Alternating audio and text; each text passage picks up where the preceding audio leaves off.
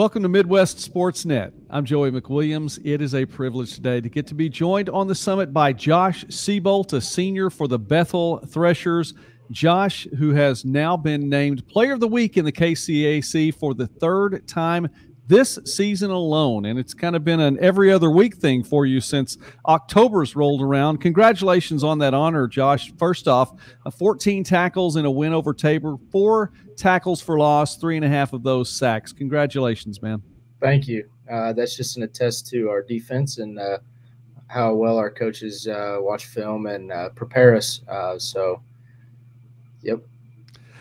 well, hey, listen, and I appreciate the the humility there. I know your coaching staff does a great job. Coach Terry Harrison, a fantastic coach. I always get to I, I enjoy the times when I get to visit with him. He's great to get to talk to, and I want to talk about him a little bit later on. But but you right now leading the team in a number of defensive categories, which really has been your MO since you've been at Bethel. So far this season, 77 tackles. That leads the team. You lead the team in some other categories as well, including sacks with 10 of those, forced fumbles, two of those as well. And last year, you led the nation in tackles for loss with 20.5. You already have 26 of those. So it's it's been a good year. Talk about the year so far.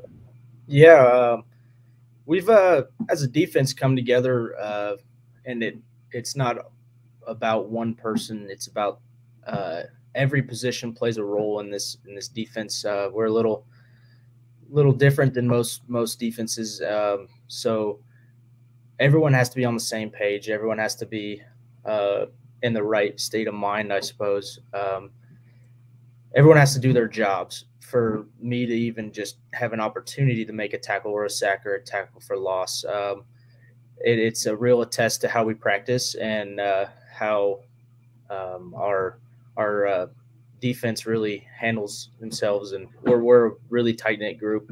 Um, up front, we're pretty old, and you know, without them, honestly, none of this would be possible. So.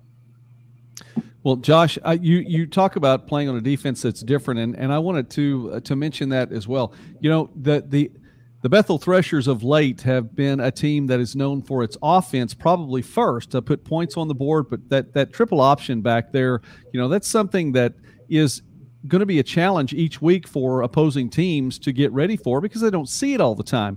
With an offense like that, and it gets the headlines generally week in and week out, what's it like to play then on the defense and say, hey, listen, we're here too? Um, you know, we're we know our role. Um, we love our offense. Uh, we expect them to score and hold on to the ball, um, which they do very well. Um, we when we get our shot, we want to be able to get the ball back in their hands. So that's kind of what our our defense is based around is turnovers and a lot of pressure. Um, and so far this year, we've done a really good job of that. Um, I don't know how many turnovers we have on the year, but um, I believe it's more than last year already. So um, we're kind of developing still into this defense. So um, each week we get better and better at uh, every aspect of this defense. So.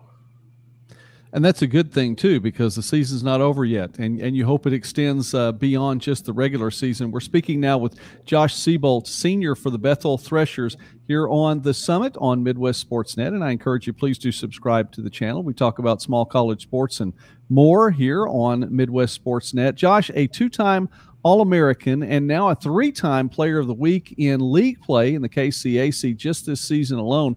And with that in mind, Josh, you have to think, you know, one time, okay, it's a great honor. Two times, that that's pretty good. But by the third time now, do you feel like that uh, the opposing teams are are they starting to double up on you a little bit? They know you're there.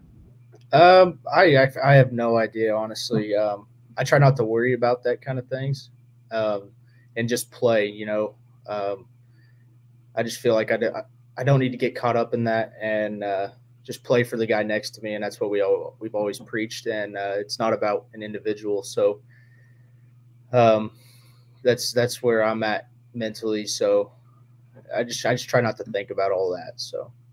Well, that's the kind of praise that your head coach gave you a few months back. I had an opportunity to visit with Coach Harrison prior to this season, and, and we were talking about you just a little bit. Some of the words he used were leader, champion, hard worker, tough as nails, and and he said that uh, that your attitude that you bring is something that is it's pretty much contagious. That it's picked up on by everyone.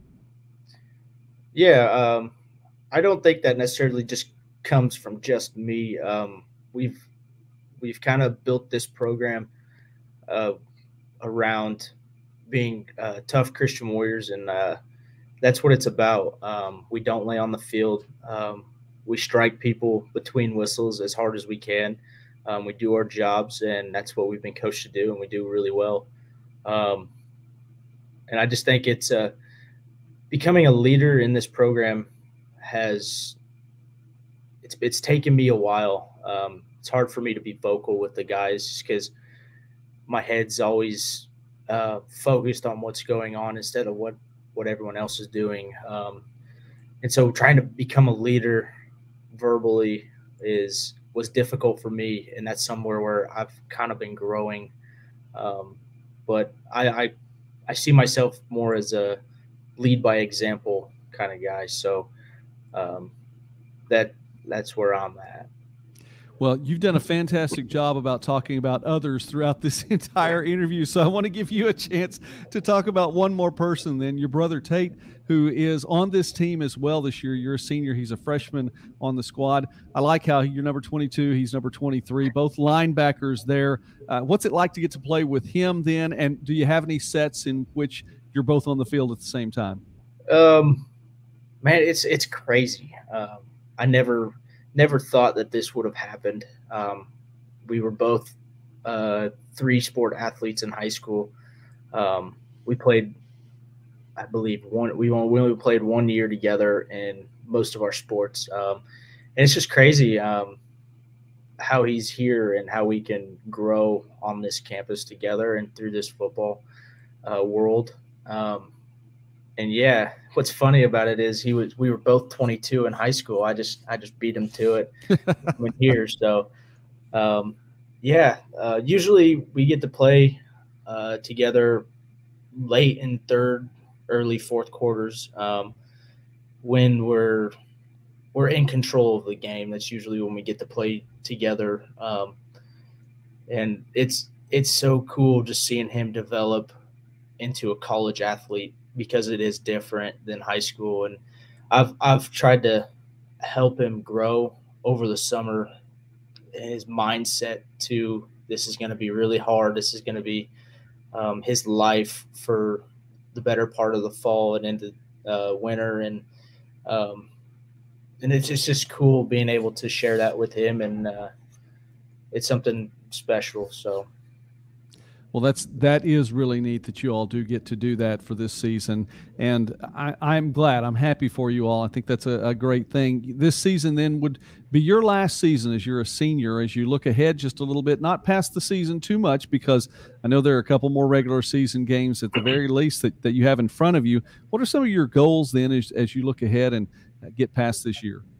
Um, maybe someday coach, um, and pass on what I've been taught here, um, and really uh, just trying to grow the game of football and wrestling.